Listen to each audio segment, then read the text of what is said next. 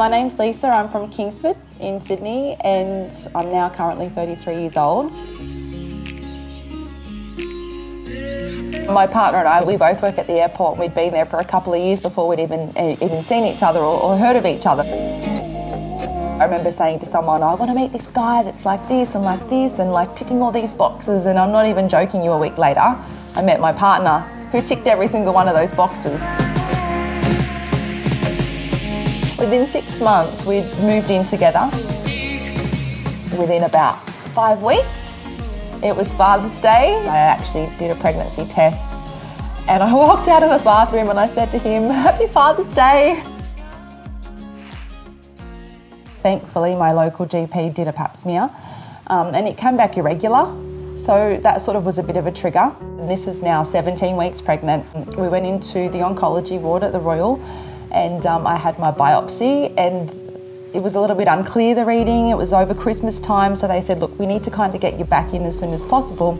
I got the call and they said, oh, if you can come in tomorrow, um, bring your partner and, and we'll have a chat. You're going to see Professor Hacker. I saw Lisa when she was about 18 weeks pregnant and she had a very large cancer on the cervix.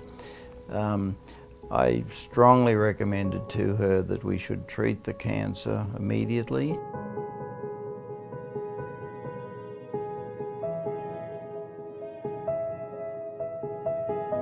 We were told that we could terminate the pregnancy the next day and I would have a radical hysterectomy or I could continue the pregnancy and follow through with treatment which we decided to do.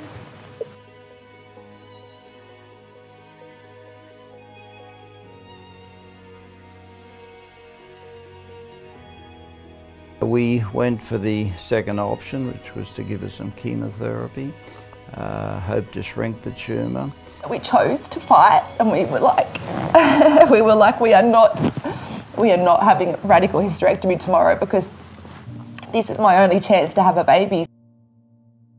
So my tumour was five centimetres in size and if the tumour did not respond to the chemo, then I'd be having um, our baby at 24 weeks. So they were going to give me four weeks to see how the cancer responded. When I went in to have that, that initial checkup to see how the cancer had responded, it had actually shrunk by 30%. So we were like, oh, this is amazing. It kept responding, so it was, I was able to continue the pregnancy. So it kept responding, kept responding. And then at that 30 week checkup, when Professor Hacker did my kind of internal to make sure everything was still okay, he was just amazed because the tumour had miraculously disappeared. So it'd gone.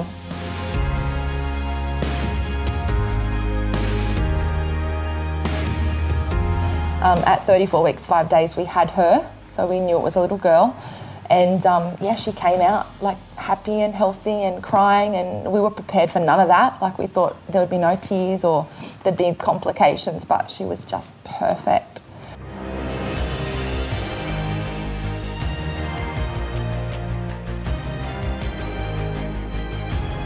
So then I went in to have a radical hysterectomy, which was about a seven hour process.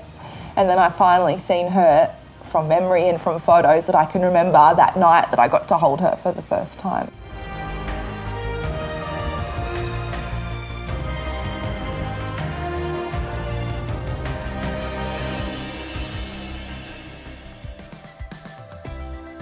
So Edie is five now, five and a half. If it wasn't for her and I wasn't pregnant, then I probably would not have had that pap smear and it I always say it could have gone underlying for who knows how much longer. Everyone has a mother, everyone has an auntie, everyone may have a wife or a sister or a daughter.